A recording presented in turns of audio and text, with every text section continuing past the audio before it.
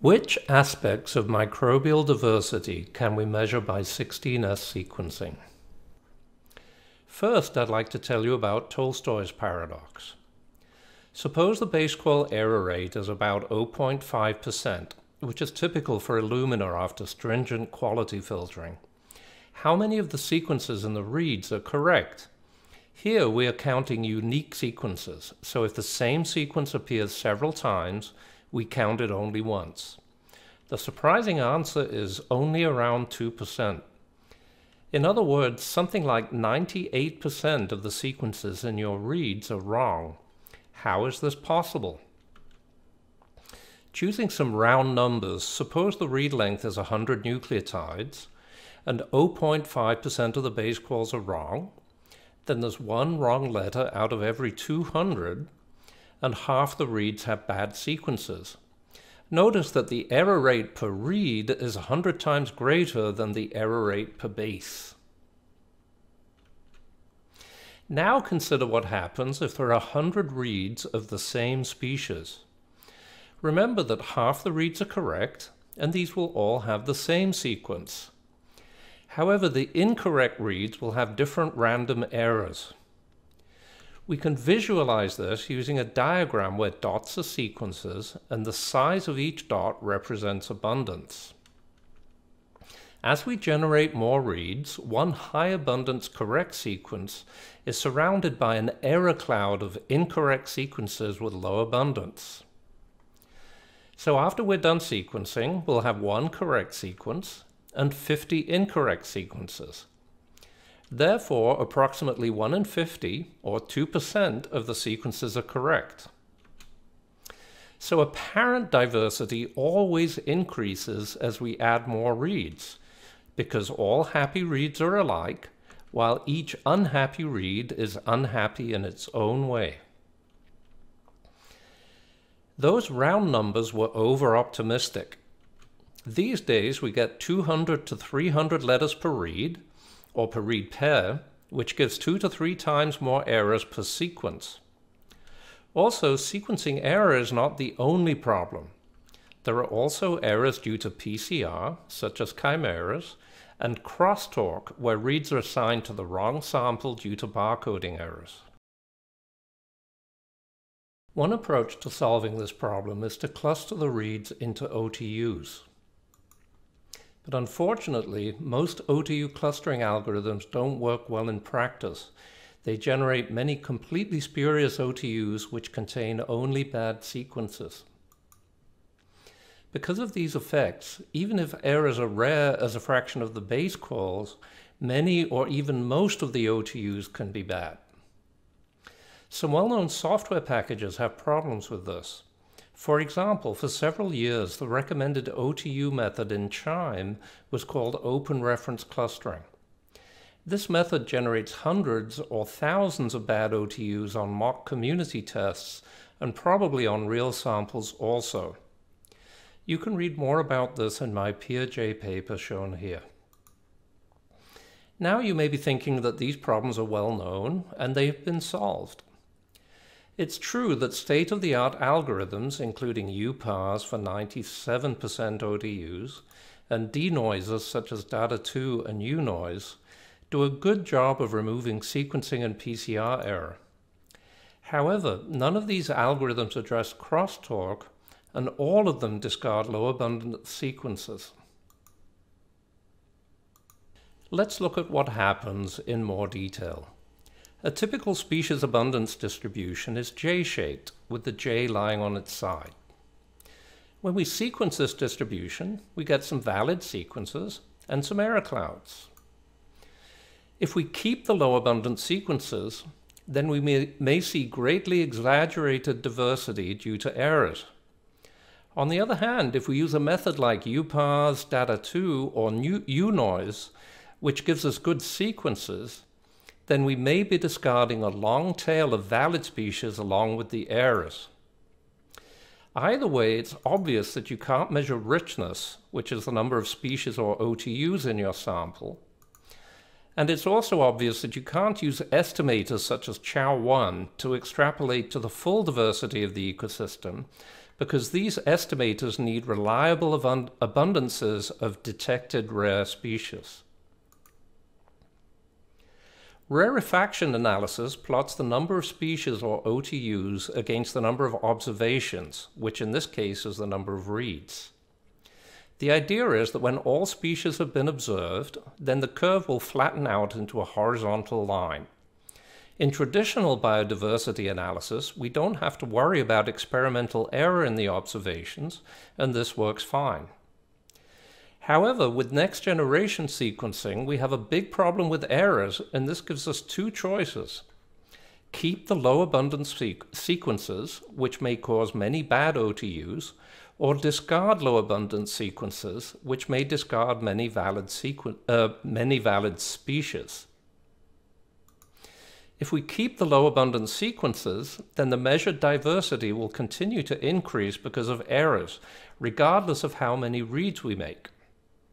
On the other hand, if we discard low abundance sequences to keep the number of bad OTUs at a reasonable level, then the curve always appears to flatten out. There's no middle ground between these two choices because it's impossible to reliably detect the bad sequences. And this means that rarefaction analysis cannot tell you anything useful about your 16S data. Clearly, we can't measure richness. However, most other alpha diversity metrics, such as Shannon ent entropy, are calculated from frequencies, where low frequency OTUs have a lower, a lower weight. So these metrics are less sensitive to the long tail of low abundance OTUs, which are a mix of errors and rare species. Now you may be thinking that we're in good shape because the higher frequencies are pretty good. But unfortunately not. We can't measure frequencies either. Now we run into problems due to gene copy number and primer mismatches. Prokaryotes often have several copies of the 16S gene. For example, E. coli has seven copies, H. pylori has two copies, Bacillus cereus has 16 copies, and Bacillus mycoides has just one copy. As you can see, the 16S copy number varies by a factor of 10 or more, even within a single genus, as the Bacillus examples show. Mismatches between the gene and your PCR primers reduces amplification efficiency. As a rule of thumb, you'll get something like 30 times fewer reads for each mismatched position. With commonly used primers, around 10% of species have at least one mismatch. Obviously, if, the, if there are more copies of the gene, then you get more reads and if there are primer mismatches, you get fewer reads. Unfortunately, you can't adjust read counts to get accurate frequencies because there's too much variation in closely related species, so you can't use databases of known species to look up the correction factor. There are some published methods that claim to do this, but unfortunately their benchmark tests are not realistic, and in fact they do not work. Here is an example from real data. The top histogram shows the true frequency distribution of species measured using shotgun sequencing.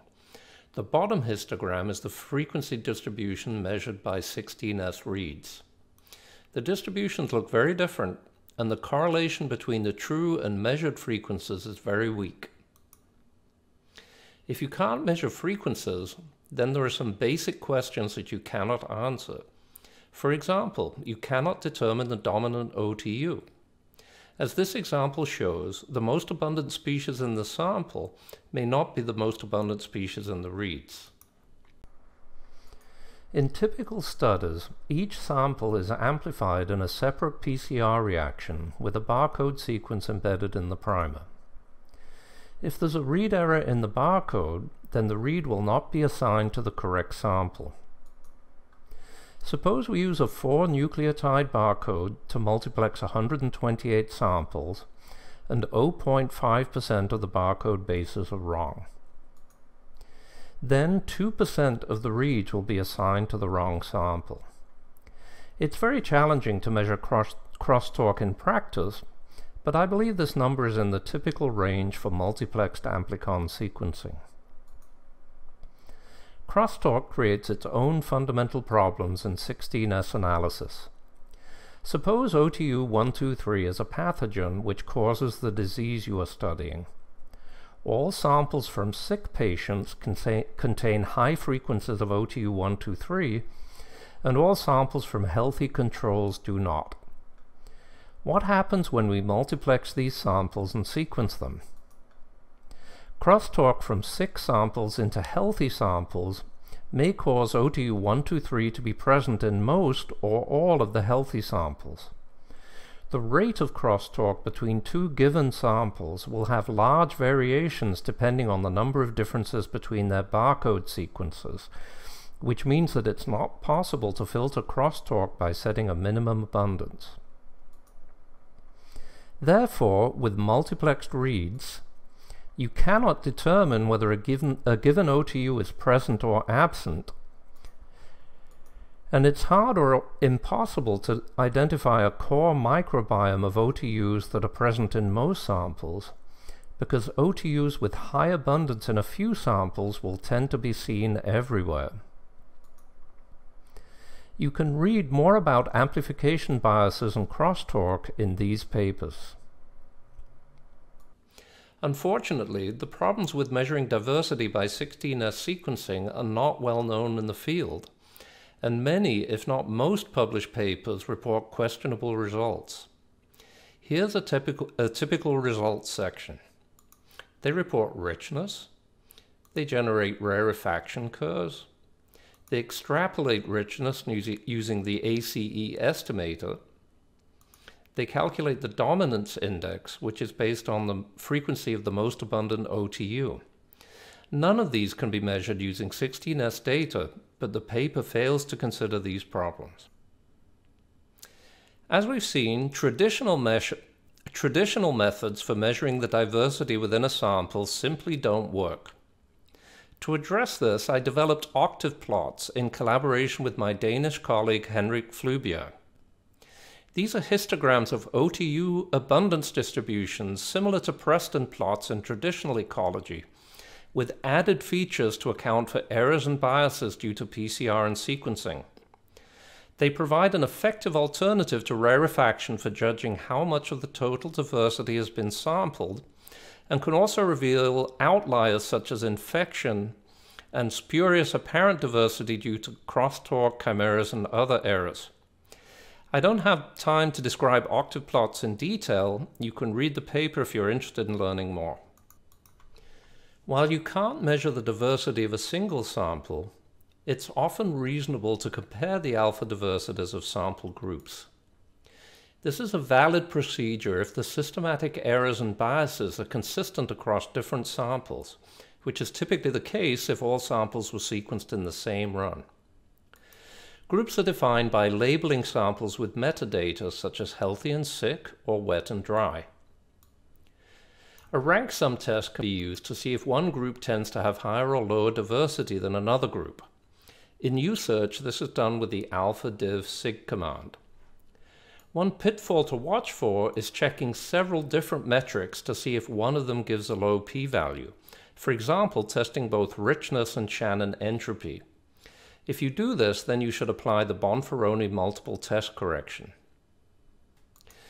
While this approach seems reasonable, it's still subject to systematic errors which are not well understood.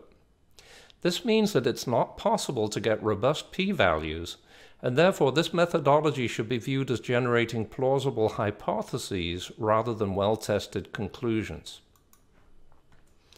To increase confidence in your analyses, I suggest uh, trying different OTU methods and checking whether they give consistent results. So which OTU method should you use? Here are the most important criteria for choosing an OTU method. How accurate are the OTU sequences? How many of the OTUs are valid rather than experimental error? How many low abundance sequences are discarded? And how does the method scale to many samples and many reads? There are currently only three methods which consistently have highly accurate sequences on mock community test.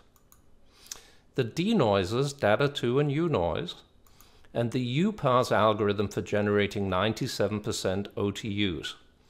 uNoise and uParse are implemented in the uSearch package. uSearch has much better scaling and is much faster than other methods. This gives you the ability to combine all reads from a dataset and cluster them together. Sequence abundances are, are, determined across the entire dataset rather than individual samples. uParse discards singletons per dataset, and uNoise discards, discards sequences with abundances less than 8 per, uh, 8 per dataset, while DADA2 discards sequences with abundances uh, less than 4 per sample. This means that in most cases, DADA2 is much less sensitive to, to low abundance uh, species. I believe that the best approach is to analyze diversity using both uParse and uNoise and check if the results are consistent. uNoise has the advantage that it's more sensitive to closely related species, but this comes at the expense of being less sensitive to low abundant species.